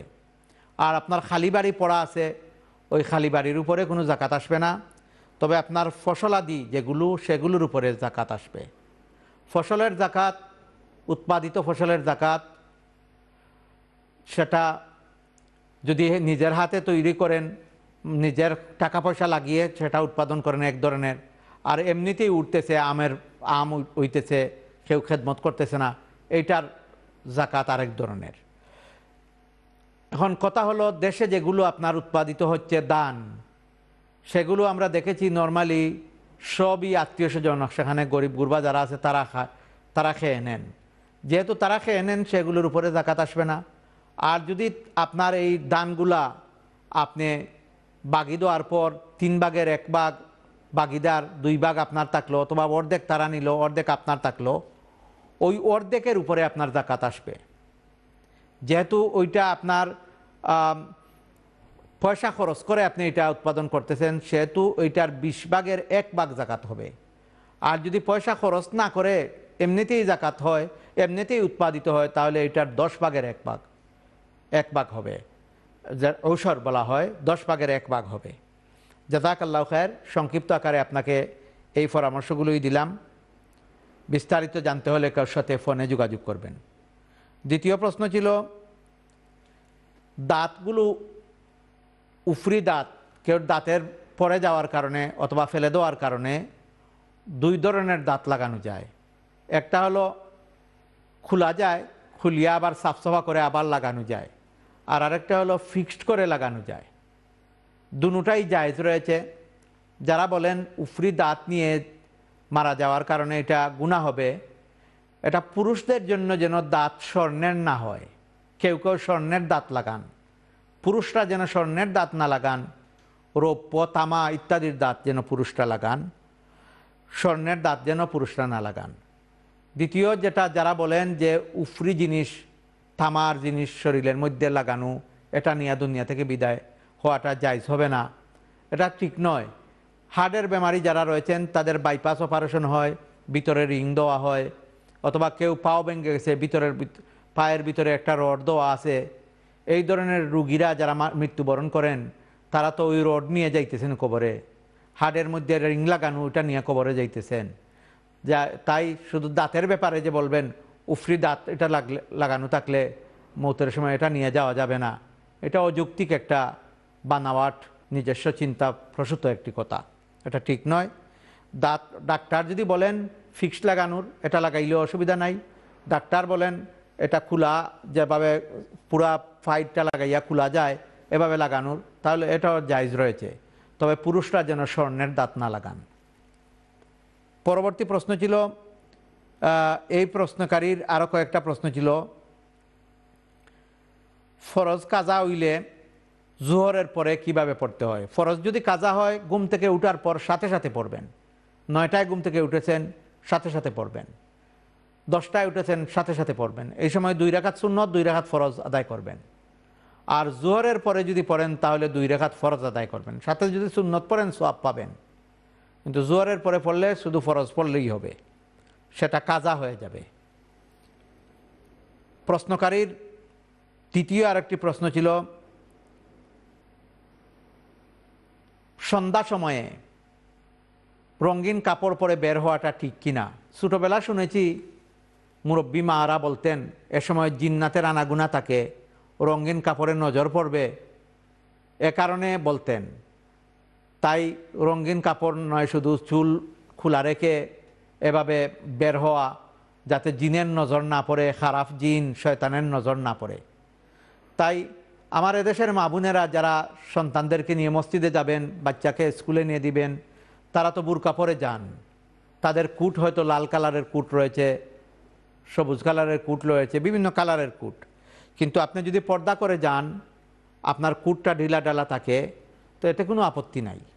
আপনি যে কালারের কুট পরতেছেন, সেটা এই সময়ে রাতের বেলা আর দিনের বেলা আর কোনো পার্থক্য করার দরকার নাই। দরকার হলো আপনার সৌন্দর্যের যেন বহিঃপ্রকাশ না ঘটে, চুল যেন এভাবে উকলানো না থাকে। আপনি কালো একটা কুট পরলেন আর চুল খোলা থাকল, তাহলে তো হইল না। পর্দা পুশিদা মেনটেন করে আপনার কুট যে কালারেই হোক না কেন, সে কালারেই পড়লে কোনো অসুবিধা হবে না। তবে পুরুষদের জন্য বিদগুটে এ ধরনের কালারগুলো পরিত্যাগ করা দরকার। পরবর্তী কলার প্রশ্ন করেছিলেন, নবীজি সাল্লাহ ইসলামের জন্মের তারিখ, উফাতের তারিখ। হুজুরে পাক সাল্লাহ ইসলাম পৃথিবীতে এসেছেন রবিউল ওয়াল মাসের। কোনো কোনো বর্ণনায় বারোই রবিউল ওয়াল অধিকাংশ বর্ণনায় নয়ই রবিউল আউ্য়াল। তাই নবীজি সাল্লাহ ইসলামের জন্মের তারিখ বারোই রবিউল আউ্য়াল নাকি নয়ই রবিউল আউ্য়াল ইখতলাফ রয়েছে। কিন্তু তিনি পৃথিবী থেকে চলে গেছেন বারোই রবিউল আউ্য়াল। এর মধ্যে কোনো ইখতলাফ মত পার্থক্য নাই। যখন নবীজি সাল্লাহ আলাইসাল্লাম পৃথিবী থেকে চলে যান, তখন পৃথিবীর মধ্যে ছিলেন সাহাবায়ক রামদের বিশাল একটি জমাত। এক লক্ষ তিরিশ হাজার, পঁয়ত্রিশ হাজার সাহাবি বিদ্যমান ছিলেন। তারা হুজুরে পাক সাল্লাহ আসলামের প্রতিটি আদা, প্রতিটি কাজ, প্রতিটি শ্বাস প্রশ্বাসের কথা, ঘরের কথা, বাহিরের কথা, ঘুমের কথা, সজাগের কথা, বাজারের কথা, শিশুকালের কথা তারা লিখে রেখেছেন। আর যখন পৃথিবীতে আসেন, তখন নবীজি সাল্লাহ ইসলাম ছিলেন এতিম। এই কথাটা এভাবেই এসেছে আমাল ফিল, হাতির বছর। হাতির ঘটনার পঞ্চাশ দিন পরে পৃথিবীতে এসেছেন নবীজি সাল্লাহ ইসলাম এভাবে বিভিন্ন ইতিহাস এসেছে। তবে সোমবার দিনে তিনি পৃথিবীতে এসেছেন। সোমবার দিনে পৃথিবীতে এসেছেন। তাই নবীজি সাল্লাহ ইসলামের ইন্তেকালের দিন হলো বারোই রবিউল আউ্য়াল, সোমবার। জন্মের দিন, সোমবার দিন, তবে তারিখ সম্পর্কে ইখতলাফ রয়েছে। গণনা করে দেখা গেছে, সোমবার হাতির ঘটনার সাথে সম্পৃক্ত করে সোমবার বারোই রবিউল ওয়াল হয় না, নয়ই রবিল ওয়াল হয়। তাই নবীজি সাল্লাহ ইসলামের জন্মের মুহূর্ত নয়ই রবিউল আউ্য়াল হিসাবে বেশি প্রসিদ্ধ সূত্রে পাওয়া যায় নয়ই রবিউল আউ্য়াল। জাদাক আল্লাহ খায়ের। দর্শক শ্রোতা বিশ্বনবী সাল্লাহ আসলামের কথা, তার জীবনের কথা, জন্মকালীন সময়ের কথা তার আখলাক, সারা জীবনের কথা, যতই বলা হবে, শেষ হবে না। পৃথিবীর মধ্যে সব থেকে বেশি কোনো মানুষের জীবনী যদি লিপিবদ্ধ করা হয়, তাহলে তিনি হলেন সৈয়দুল মুরসালিন নবিয়দু জাহাদরত মাহমুদুর রসুল্লাহ সাল্লাহ একজন লেখক, ঐতিহাসিক তিনি বলেছেন, নবীজি সাল্লাহ আসলামের জীবনী বাংলা ভাষা, ইংরেজি ভাষা, ফার্সি ভাষা, আরবি ভাষা, সকল ভাষায় এমনভাবে লেখা হয়েছে, যদি একসাথে জমা করা হয়, মনে হয় আকাশচুম্বী হয়ে যাবে। সুবাহান আল্লাহ দর্শক শ্রোতা, ছোট্ট বিরতিতে যাচ্ছি। বিরতি থেকে এসে প্রিয় নবী সাল্লাহ আসলামের জীবনীর উপরে আরও আলোচনা করব। আপনাদের কলও নেব। আমাদের সাথে থাকবেন। আসসালামু আলাইকুম রহমতুল্লাহ।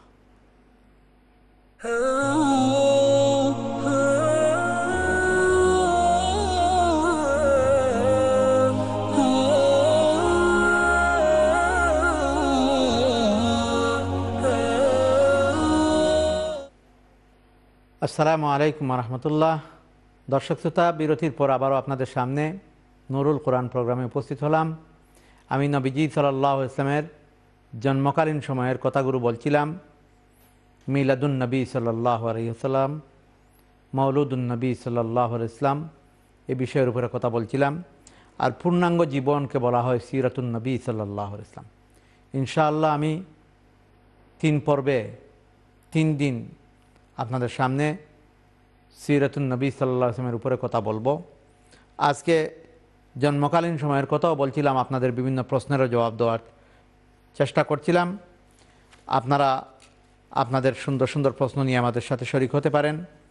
আমি বলতেছিলাম নবীজি সাল্লাহ আসলামের সাক্ষ্য সদর হয়েছে চারবার। তিনবারের কথা বলেছি, চতুর্থবার হয়েছে নবীজি সাল্লাহ আসলাম যখন মেয়ারাজে গেলেন। তখন মেয়ারাজে যাওয়ার সময়ে সেই সময়ে নবীজি সাল্লাহ আসলামের সে বছর আমাল হুজন গমির বছর, চিন্তার বছর ছিল। কারণ তার স্ত্রীও পৃথিবী থেকে চলে গেলেন, তার দাদাও পৃথিবী থেকে চলে গেলেন, তার চাচা যে চাকা চাচা বুক দিয়ে তাকে আগলে রেখেছিলেন। নবীজি সাল্লাহ আসলামের প্রথমা স্ত্রী, আমাদের মা হজরতে খাদিজাতুল কুবরা রদিয়াল্লাহ তাল আনহা তিনিও পৃথিবী থেকে চলে গেলেন। তাই সে বছর আল্লাহ পাক মেয়ারাজে নিয়েছিলেন। মেয়ারাজে যাওয়ার মতো যোগ্যতা হওয়ার জন্য আল্লাহ পাক সে সময়েও কাবাগরের পাদদেশে সাক্ষ্য সদর করিয়েছিলেন সিনাসাক করিয়েছিলেন। কলার আসসালামু আলাইকুম। আসসালামু আলাইকুম। সালাম। জি আপনার প্রশ্নটা বলুন। আপনার পড়তাম নি আমরা সামনে সোমবারে হুজুর আল্লাহর নাম পড়তাম নি জি। আল্লাহর নাম প্রতিদিনই করা যায় সামনের সোমবারে। জাজাকাল্লাহ খায়ের আপনি প্রোগ্রাম দেখুকা পরবর্তী কলার আসসালামু আলাইকুম। আসসালামু আলাইকুম কলার। ওয়ালাইকুম আসসালাম রহমতুল্লাহ। আমি একটা প্রশ্ন করতাম। জি।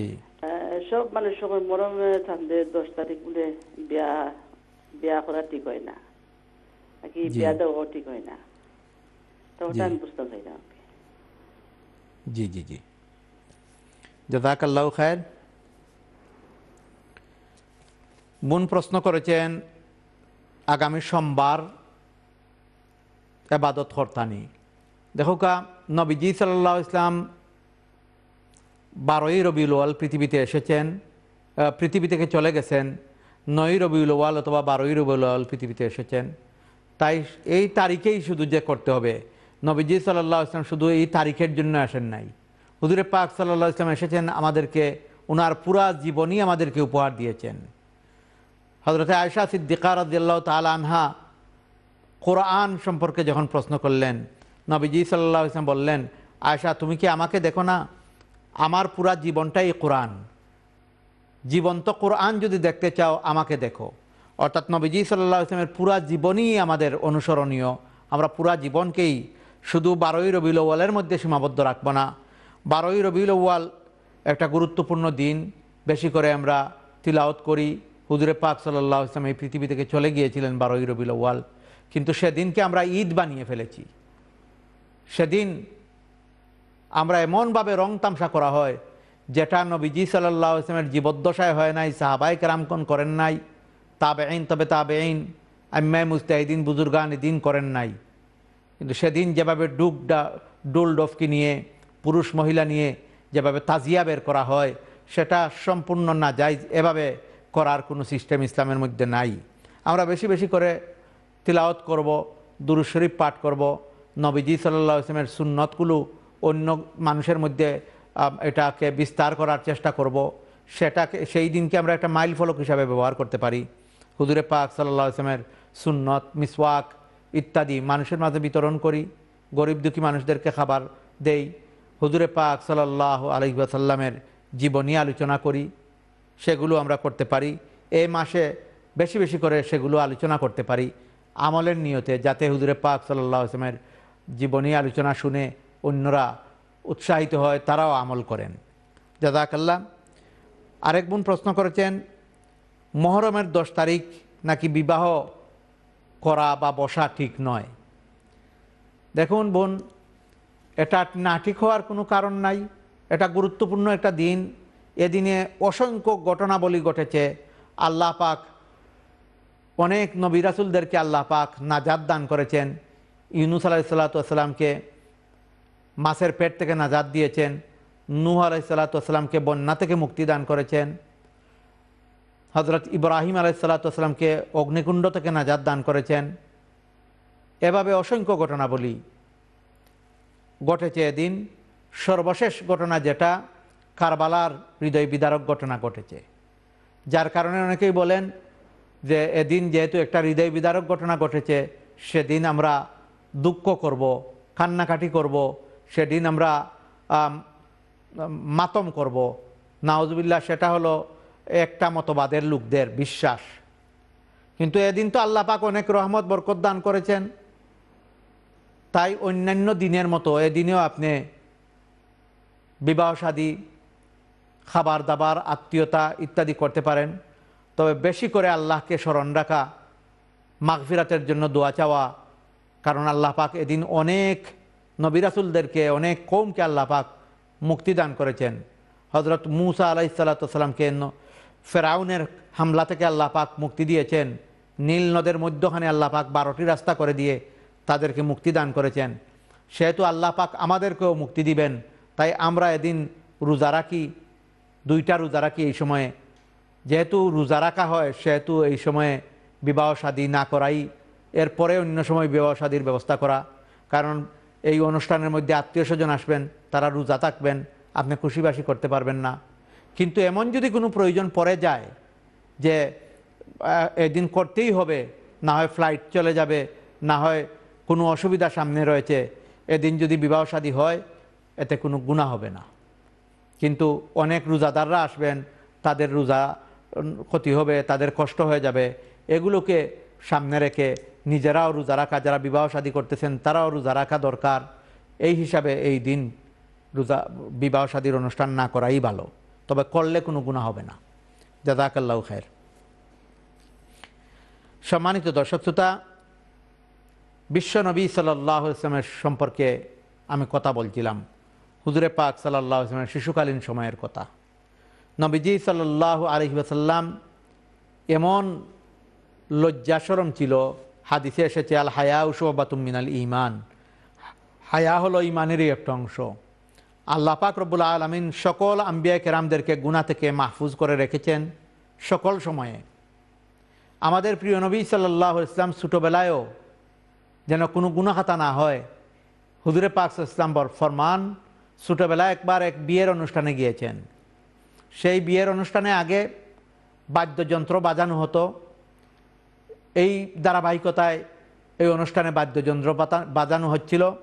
কিন্তু মোহাম্মদ সাল্লাহ ইসলাম তিনি ওই বাড়িতে গিয়ে ঘুমিয়ে পড়লেন। সারা রাত এক ঘুমে কাটল। তারাও বাদ্যযন্ত্র নাচ গানের মাধ্যমে বিবাহ অনুষ্ঠান এনজয় করল। কিন্তু আমাদের নবীজি সাল্লাহ ইসলাম ঘুমেছিলেন।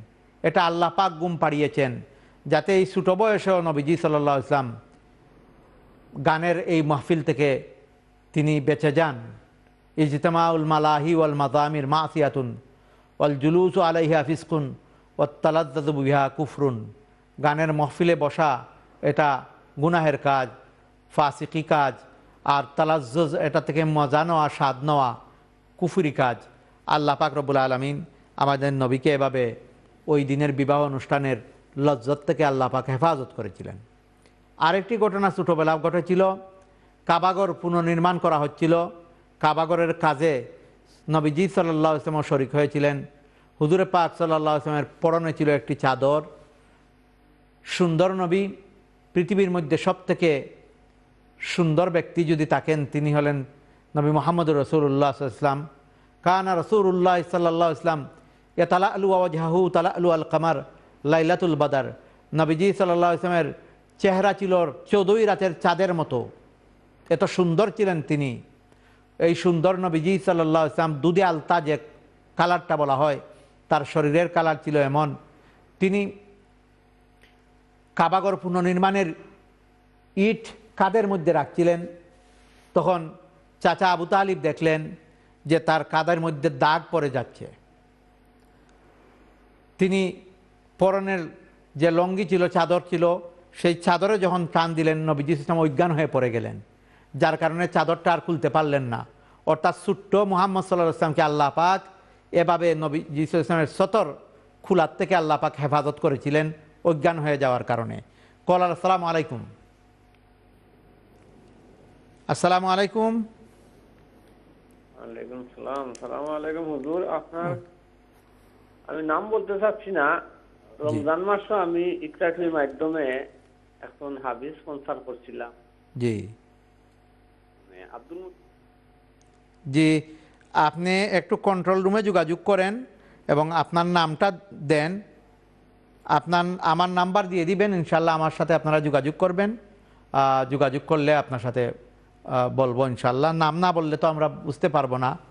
এবং হয়- হয়তো আমার কাছে আপনার নাম্বার আছে কিনা আমি জানি না। আমার নাম্বারটা নিয়ে নেন। জাদাক আল্লাহ খায়ের দর্শক তো আমি বলতেছিলাম নবীজি সাল্লাহ ইসলাম সহ সকল আম্বিয়া কেরামদেরকে আল্লাহ পাক গুনাহাতা থেকে হেফাজত করেছেন। এটা হলো আহলে সুন্নাতওয়াল জামাতের আকিদা। কিন্তু আজকাল হুজুরে পাক সাল্লাহ ইসলামকেও গুনাগার সাব্যস্ত করার চক্রান্ত করা হয়। অনেক তথাকথিত মুসলিম রাইটারেরাও তাদের লিখনিতে নবীজি সাল্লাহ ইসলামের অনেক ভুল ত্রুটি তারা খুঁজে বের করে থাকেন। এটা সম্পূর্ণ নাজাইজ এবং গুনাহের কাজ। আজ সমস্ত বিশ্ব জুড়ে ইসলাম এবং মুসলমানদের একটা করুণ সময় অতিক্রম করছি আমরা। যে বিশ্বনবী সাল্লাহ ইসলাম ছিলেন রহমতুল্লিল্লা আলমিন, যিনি সমস্ত বিশ্ববাসীর জন্য রহমত স্বরূপ আল্লাহ পাক পাঠিয়েছিলেন। ধর্মবর্ণ নির্বিশেষে সকলের জন্য তিনি ছিলেন রহমত। যে নবী একটা পিপিলিকাকে মারতে নিষেধ করেছেন। গর্তের মধ্যে প্রস্রাব করতে নিষেধ করেছেন। যে তুমি প্রস্রাব করছ, তোমার জন্য এক ফুটা পানি, কিন্তু গর্তে থাকা পিপিলিকার জন্য আটলান্টিক মহাসাগর হয়ে যাবে। যে নবী দম্ববরে জমিনে চলাফেরা করতে নিষেধ করেছেন, যে তুমি যতই দম্ববরে হাঁটো না কেন, তুমি মাটিকে দসিয়ে দিতে পারবে না। যতই মাথা উঁচু করে হাঁটো না কেন, তুমি আসমান থেকে উঁচা হতে পারবে না। তাই তাকাব্বুর না করতে নিষেধ করেছেন। তাকাব্বুর আজা জিলেরা খার একদ বজন্দান লানত গিরিফতার একদ তকব্বুর শয়তানকে জলিল এবং খার করে দিয়েছে। লানতের মালা তার গলে পরে দেওয়া হয়েছে তাকাব্বুরের কারণে। কলার, আসসালামু আলাইকুম। আসসালামু আলাইকুম। আসসালামু আলাইকুম হুজুর ভালো আছেন ওয়ালাইকুম আপনি? আসসালাম রহমতুল্লাহ আলহামদুলিল্লাহ। আপনার প্রশ্নটা হুজুর, আমার একটা জি। জি আমার একটা প্রশ্ন হইল কি একজন মানুষের যদি বাংলাদেশও আমি হাফিজি লাইনে পড়াইতাম চাইতে আমার জাকাতুর পয়সা দিয়া আমি পড়াইতাম পারমুনি ওটাতে আপনি আমার কইবা বুঝাইয়া প্লিজ জি। আচ্ছা। খায়ের যদি এই মানুষ গরিব হন যে মানুষকে আপনি পড়াবেন, তিনি যদি গরিবের সন্তান হন, তাহলে আপনি অবশ্যই জাকাতের পয়সা দিয়ে আপনি পড়াতে পারবেন। আর তিনি যদি ধনির সন্তান হন, তাহলে জাকাত মানি দিয়ে পড়াতে পারবেন না। আপনার ভাইয়ের ছেলে, আপনার বোনের ছেলে, আপনার প্রতিবেশী কেউ ছেলে, তাকে পড়াতে চান, কিন্তু তারা গরিব, তাকে জাকাতের পয়সা দিয়ে আপনি পড়াতে পারবেন। ধনীদেরকে পড়াতে পারবেন না। জাদাক আল্লাহ খায়ের আমি বলতেছিলাম, নবীজি সাল্লাহ ইসলাম এভাবে পৃথিবীতে ধর্মবর্ণ নির্বিশেষে মানুষদেরকে সম্মান দিয়েছেন। মানুষের মধ্যে সাম্য এবং ভ্রাতৃত্ব প্রতিষ্ঠা করেছেন। রঙ্গের ব্যবধান, ভাষার ব্যবধান, দেশের ব্যবধান, সেই ব্যবধানের তিনি তিনি সমাধি করেছেন। মানুষের মধ্যে সাম্য প্রতিষ্ঠা করেছিলেন নবী মোহাম্মদ রসুল্লাহ সাল্লাহ ইসলাম এরপরেও যারা এই বিশ্ব নবীর প্রতি রহমতের নবীর প্রতি অবমাননা করে আঙ্গুলি নির্দেশ করে হাত উঠিয়ে কথা বলে ইজ্জত নিয়ে কথা বলে তাদের সম্পর্কে বলার কোনো ভাষা আমাদের জানা নেই। কলার আসসালামু আলাইকুম। আসসালামু আলাইকুম। ওয়ালাইকুম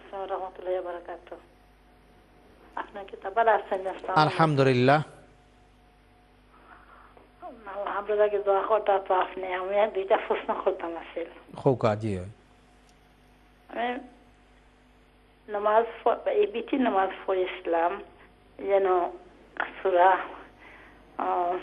সাবিসমা আর আল হাকমতা দিয়া আর যেন বইয়া তাসুদ ফরিয়া উঠিয়া অল আসর ফরিছে ফরিয়া আলামাস তাইনু কাফর নাম আমার নামাজ হইল না কইন আসর নামাজ খালি ছোট সুরা ইলা আমার নামাজ ফলাম হইল নি জি ও একটা প্রশ্ন আর একটা প্রশ্ন এখন মানুষে জখাত দিতা এখন তার দেশের আত্মীয় দিতা আত্মীয়র কোনো পয়সা কোনো রোজগার কোনো মানুষ নাই তাই যদি তোরা তোর খেত কুত করায় গরু বাস্তরও নাই পয়সা দিলে তাই খেত করেন মানুষ দিয়া তোরা পেটের ভাত খাইতে পারেন কিন্তু হুরুতে সাইড গু এটার কোনো খরচ দিতে পারে না পড়াইতে পারেন না তার নাকি তার হাতের পয়সা দেওয়া যাইব নি জি জাজাকাল্লাহ আর কোনো প্রশ্ন আছে আপনার রিনা আসসালামু আলাইকুম ওয়ালাইকুম আসসালাম রহমতুল্লাহ প্রথম প্রশ্ন আপনার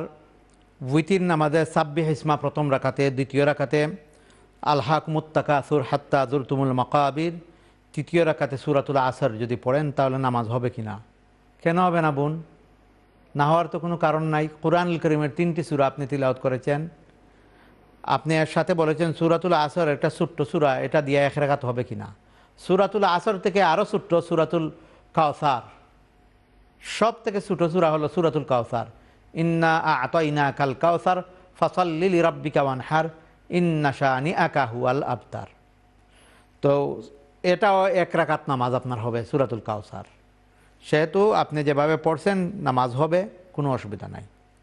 আপনার প্রশ্নের আরেকটি শাখা ছিল, দেশে আত্মীয় কেউ যদি গরিব থাকেন, শুধু ফ্যামিলি চালাইতে পারেন, কিন্তু সন্তানাদির লেখাপড়ার খরচ, চিকিৎসা, বিবাহ শাদী ইত্যাদি চালাইতে পারতেছেন না।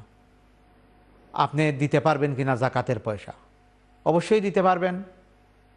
কেউ যদি নিজে জাকাতের জাকাত দেনওয়ালা না হন তার এত সম্পদ যে তিনি নিজে জাকাত দেন, তার সন্তানাদিকে আপনি জাকাত দিতে পারবেন না।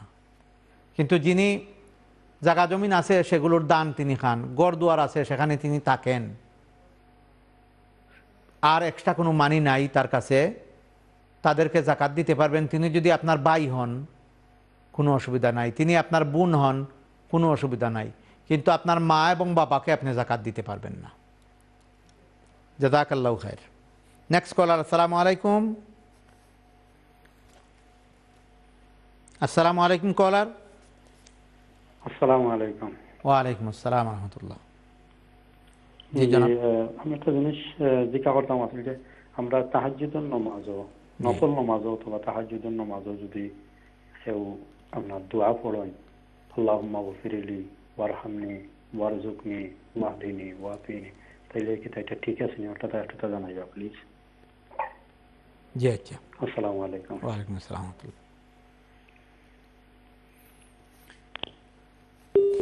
জাজাকাল্লাহ খের যে আল্লাহ মাহদিনী ওয়ারজুকনি এই দোয়াটা যে আপনি আম, রুকু থেকে উঠার পরে সিজদা থেকে উঠার পরে রুকু থেকে উঠার পরে সামি আল্লাহুলমান হামিদা রব্বানা আলকালাহাম হামদান কাসিরান তৈবান মুবারকান ফি এটা আপনি পড়তে পারবেন ফরজ হোক আর নফল হোক। সিজদা থেকে উঠার পরে আল্লাহ আকবর বলে, আপনি পড়তে পারবেন আল্লাহ মাহদিনী ও ওয়ারজুখনি এই দোয়াটা আপনি পড়তে পারবেন। ফরজ হোক আর নফল হোক। আপনি প্রশ্ন করেছেন তাজ্জুদে এবং নফল নামাজে, আপনি তো পড়তে পারবেন। এমনকি ফরজ নামাজেও পড়তে পারবেন। দুনু সজদার মধ্যখানে আর দুনু রুকুর মধ্যখানে রব্বানা আলাকাল হামদ হামদান কাসিরান তৈবান মুবারকান ফি। জাজাক আল্লাহ খায়ের পরবর্তী কলার, আসসালামু আলাইকুম। হ্যালো। আসসালামু আলাইকুম। আলাইকুম সালাম সালাম। টেলিভিশনের ভলিউমটা আপনি কমান। আচ্ছা আমার কাছে জানা মাত্র না তো। আপনার টিভির ভলিউম একবারে কমাইলি কোয়া টিভির ভলিউম কমাও কা প্লিজ এবলা হোকা কমাইছে। আচ্ছা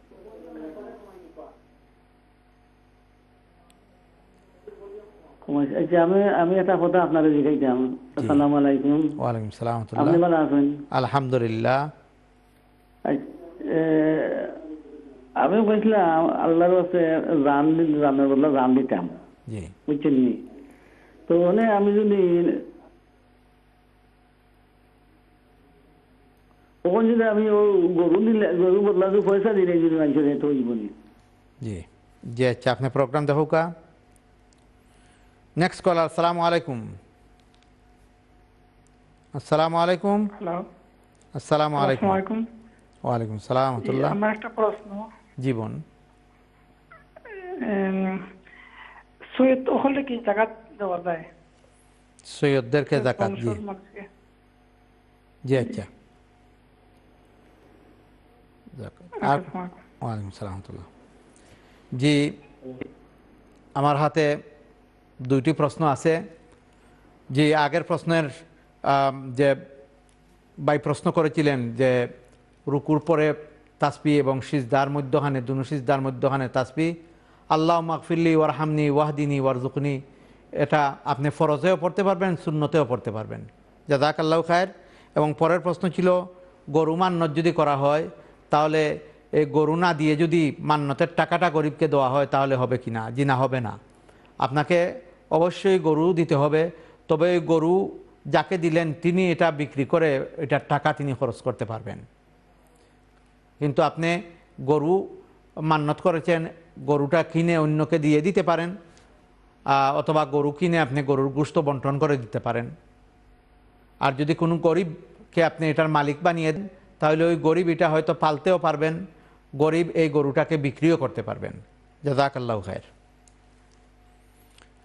পরবর্তী প্রশ্ন ছিল, সৈয়দ বংশের লোকদেরকে সৈয়দ হলেন যারা নবীজি সাল্লাহ ইসলামের বংশধর, তারা হলেন সৈয়দ হজরত ফাতিমাতুদ্দাহরা রদিয়াল্লাহ তালানহার সন্তান হজরতে হাসান হজরত হুসাইন রদিয়াল্লাহ তালানহুর মাধ্যমে যারা পৃথিবীতে এসেছেন, তাদের বংশধর সৈয়দ এবং তাদেরকে কোনো অবস্থায় জাকাত দেওয়া যাবে না। নবীজি সাল্লাহ ইসলাম তিনিও জাকাত খেতেন না। হাদিয়া গ্রহণ করতেন। তাই সৈয়দ বংশের মানুষদেরকে আমরা যেন হাদিয়া তুফা দেই, তাদেরকে যেন আমরা জাকাতের পয়সা না দেই। জাদাক আল্লাহ খায়ের জি, দর্শক শ্রোতা, অসংখ্য কলার রয়েছেন, আমরা আর কল নিতে পারব না। আমি সর্বশেষ কথা আপনাদের সামনে উপস্থাপন করতে চাই। নবী মোহাম্মদুর রসুল্লাহ পৃথিবীতে এসেছিলেন তিনি। শান্তি, সাম্য, ভাতৃত্ব প্রতিষ্ঠা করার জন্য, সকল অন্যায় অনিয়ম অবিচার ধ্বংস করার জন্য তার আগমন ঘটেছিল পৃথিবীতে। কিন্তু যুগে যুগে, সে সময়েও বিশ্বনবী সাল্লাহ ইসলামের প্রতি মানুষেরা অবমাননাকর কথা বলেছে। তারা নবীজি সাল্লাহ ইসলামকে পাগল বলেছে, ধর্মদ্রোহী বলেছে, রাজদ্রোহী বলেছে, তার দান দান মুবারক শহীদ করে, করেছে তারা। তাকে তার জন্মভূমি থেকে বিতাড়িত করে দিয়েছে।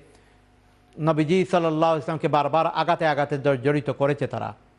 হুজুরে পাক সাল্লাহ ইসলামের বিপক্ষে যারা ছিল তারা। পরবর্তীতে মিথ্যা নবুয়তের দাবিদারেরাও পৃথিবীতে এসেছে।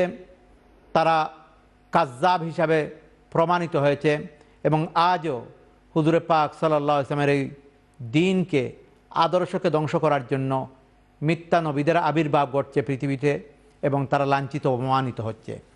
যারাই হুজুরে পাক সাল্লাহ ইসলামের সাথে শত্রুতা করেছে, তারা এই পৃথিবীতেও তারা লাঞ্ছিত হয়েছে এবং আখেরাতেও তারা চরম লাঞ্ছনা বঞ্চনার অধিকারী, চিরস্থায়ী জাহান্নামের অধিকারী হবে। আজকে মুসলমানদের সাথে আদর্শিক যুদ্ধে পরাজিত হচ্ছে দেশে দেশের মানুষেরা। তাই ইসলাম এবং মুসলমানদের বিরুদ্ধে নানাবিধ চক্রান্ত চলছে। আমরা এই চক্রান্তের তীব্র নিন্দা জানাই, অন্তর দিয়ে আমরা ঘৃণা করি। আল্লাহ পাক রব্বুল আলমিন আবারও পৃথিবীতে নবী আদর্শ, কোরআনের আদর্শ বাস্তবায়ন করার এবং তা আমরা আমল করার তৌফিক দান করুন। আল্লাহ পাক রব্বুল আলমিন আমাকে এবং আমার সকল দর্শক শ্রোতাকে যে কথাগুলো বললাম তার উপরে আমল করার তৌফিক দান করুন। আগামী পর্ব সিরাত সিরাতুন নবী সাল্লাহ ইসলাম দেখার অগ্রিম আমন্ত্রণ জানিয়ে বিদায় নিচ্ছি আজকের মতো আপনাদের কাছ থেকে। ভালো থাকুন, সুস্থ থাকুন। আসসালামু আলাইকুম রহমতুল্লাহ। Oh.